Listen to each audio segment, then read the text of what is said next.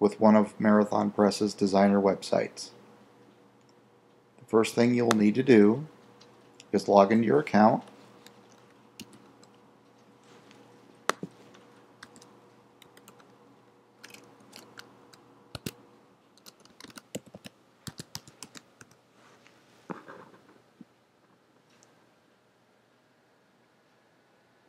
Okay. The next thing that we will be doing is we will need to activate the theme.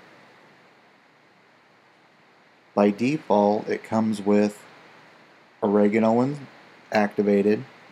So what I'll show you how to do is go into themes and notice that when you do purchase a YouBuildit website, it comes with all the themes that Marathon Press currently offers.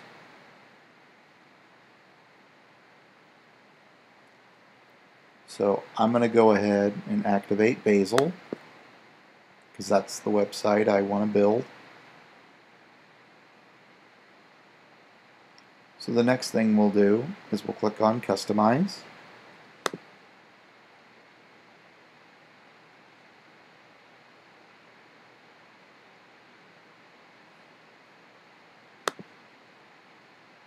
and I'll adjust the site title.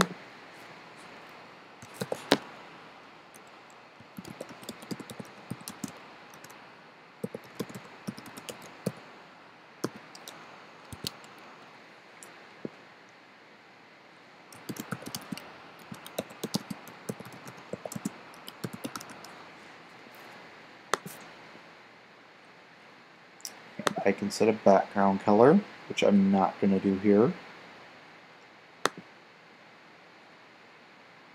You Can also set a background image. We will select our main navigation. And our static page will be front page, it'll be our home page. We'll save and we'll publish. Close. So here's the website that we're currently building. Let's see what it looks like. Okay. So I'm going to go ahead and change these link colors and the menu option colors admin.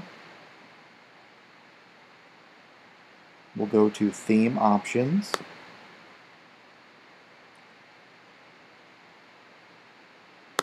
Within here I will adjust for the specific color that I want.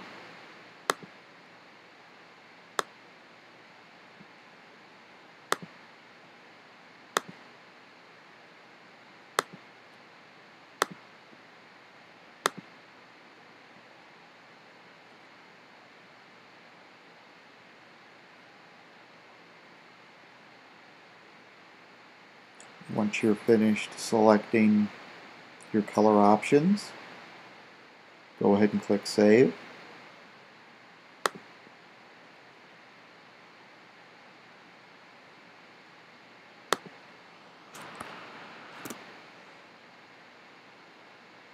So here's the changes that I made.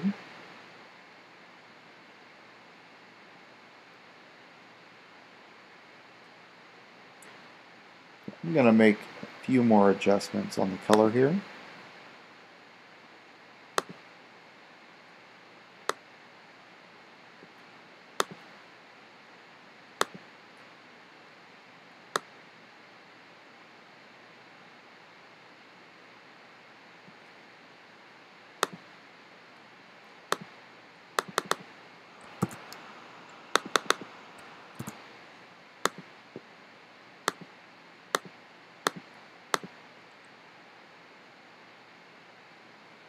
Okay, also notice you have slideshow speed settings for your home page, and you also have gallery slideshow settings. Click Save, and let's take a look and see what it looks like now.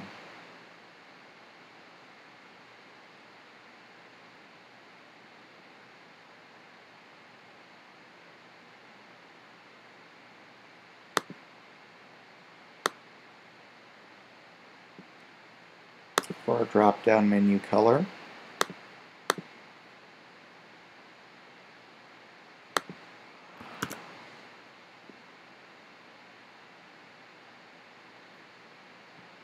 Okay. So the next thing I'll do is since we don't have a home page slideshow, go ahead and add one of those. We'll go to Pages. Click on Home and Edit.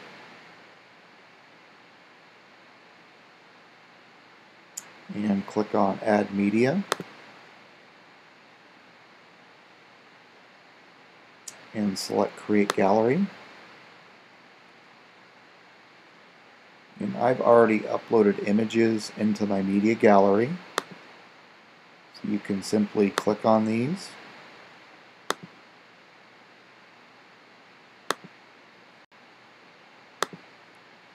And if you don't want one, you can just click on the minus. Click Create a new gallery. And you can click, drag, and drop these images for the sort order. Click on Insert Gallery.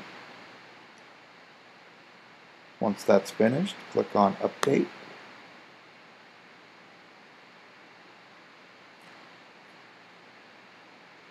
And go back to your page.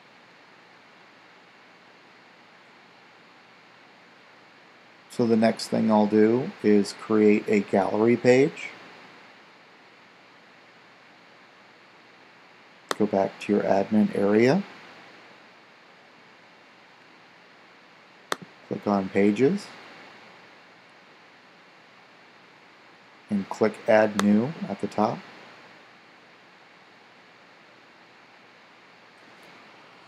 I'm going to call this page Gallery. Actually, Wedding Gallery. And I'll click on Add Media.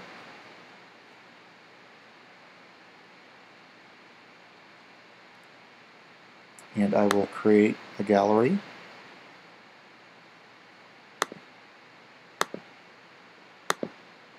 Select the images that you want to use. Click on Create Gallery. Drag and drop to rearrange the order. Click on Insert Gallery and Publish.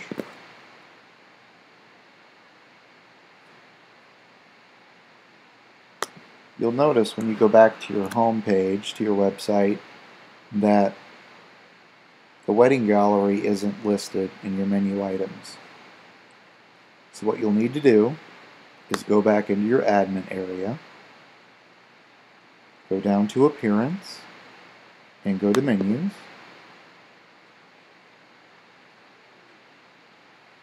And here is the current menu that is configured on your website. So to add wedding galleries, we come down to Pages, Most Recent, and click on Wedding Gallery, Add the Menu, and it appears right in here. Click on Save Menu,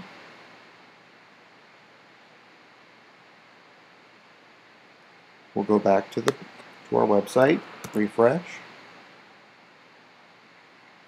and now Wedding Gallery is here on our menu. And that's not the view that I want. So we'll go back into the admin area, go to Pages, go to Wedding Gallery, click Edit, and under Page Attributes, under Template, there's a gallery template that you can select. We'll click Update.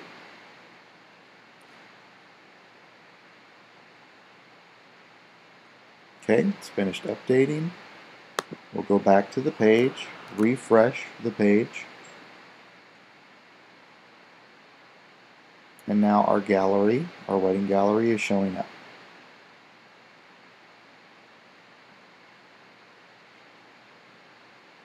So the next thing I'd like to do is I would like to add my company name at the bottom in the footer area and I would like to add my Facebook icon at the bottom as well.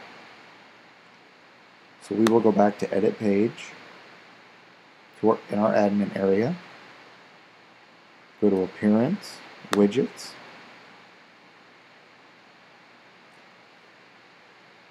And here is the footer area that I will be modifying.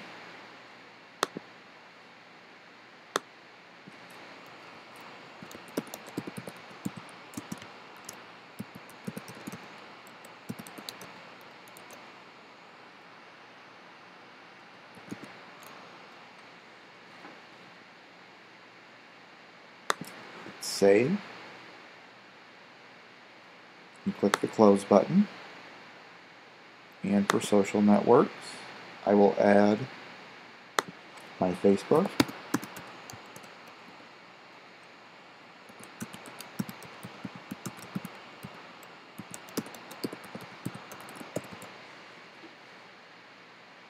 Scroll down hit save close. We'll go back to our website and we will refresh the page. As you can see, my Facebook icon is now down here. And Marathon Photography is here, but I need to adjust the color. So go back into the admin area. Go back to Theme Options. I will adjust the footer text color and I'll set it to an off-white.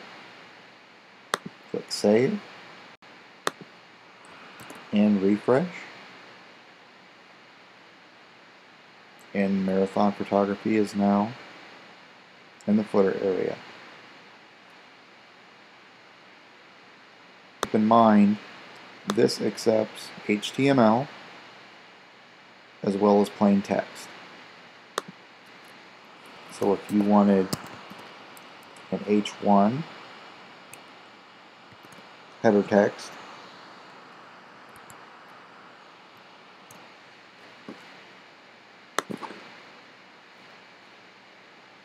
you can certainly have that.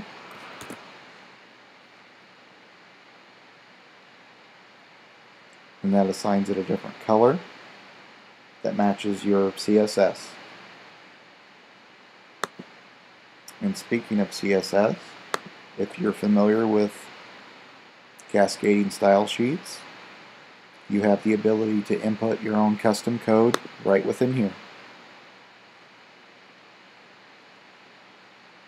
The next thing I would like to show you is I would really like to change my background. This purple really isn't the color that'll go with this site. So I'll go back into my admin, click on background, and you can either upload your image that you would like to use or you can click choose image. And I have this diamond background pattern selected. Check mark it and set as background. Now it's set. And depending on which background pattern you're selecting, you will need to adjust the position, the repeat, and the attachment. Click Save, Changes. Go back to your website, refresh. That made a very huge difference and it looks very nice now.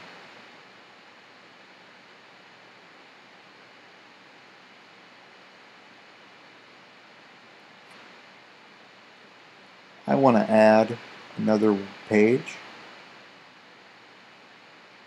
So we'll go back into the admin area. Go to pages.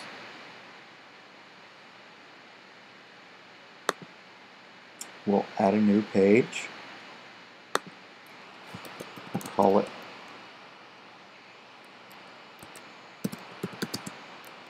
All About Us.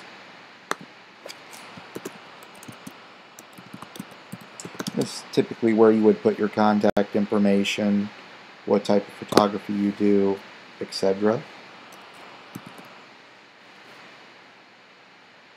Be sure to select your template and set a featured image.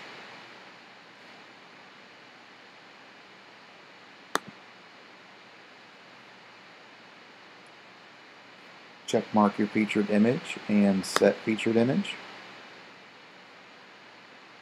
And also, Marathon provides a basic SEO tool so you can set your title and your meta description for optimal search engine optimization. Click Publish.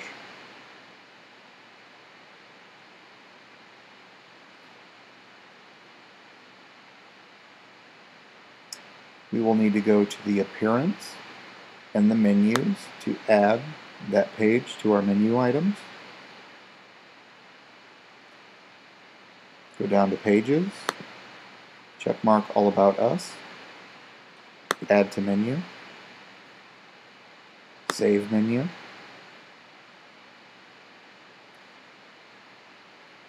let's go back to our website and take a look and see what it looks like.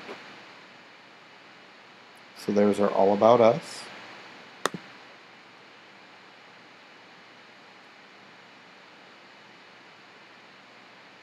And my featured image isn't showing up and the background color isn't very pretty. So we'll go back into the admin area.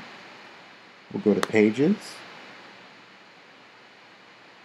And we'll go to All About Us. I'm going to change my page template to the default template and click on update.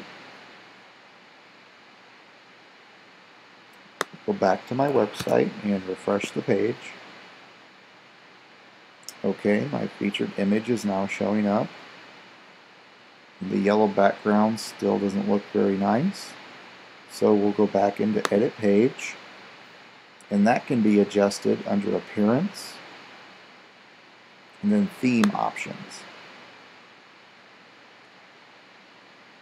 So here's the content background.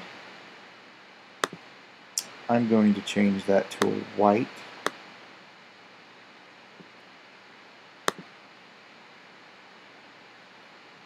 Click Save.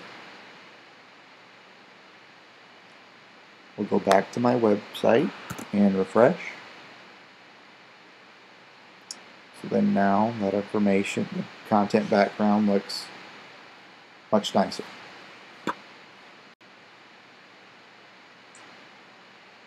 The other thing that I would like to edit is my contact page.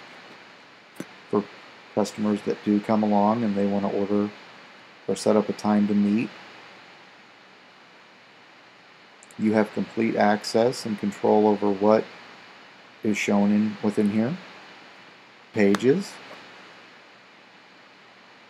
And here is your contact page.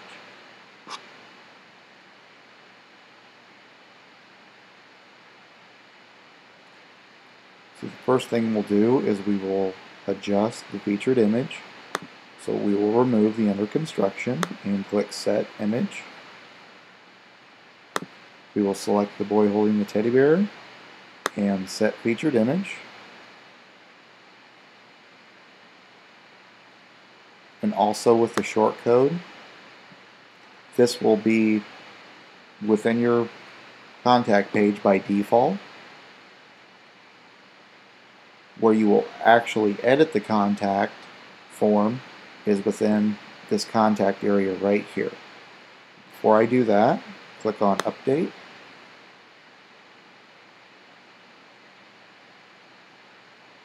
And this will update our current contact page.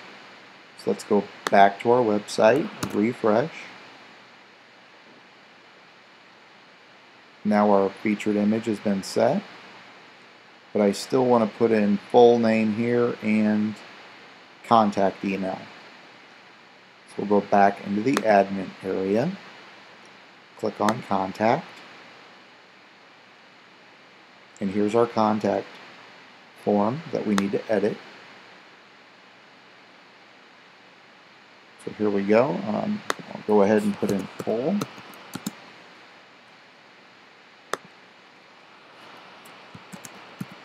I will put in company email.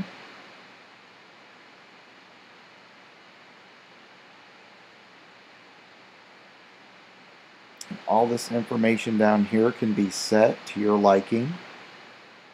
You'll put in your own email address here.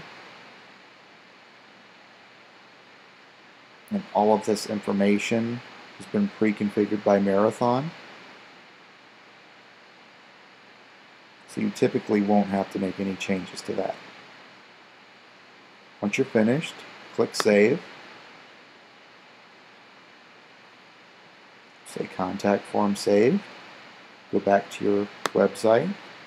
Refresh your page.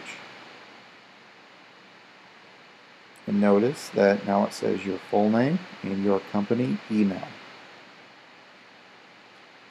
This con concludes the tutorial of the YouBuildit designer sites.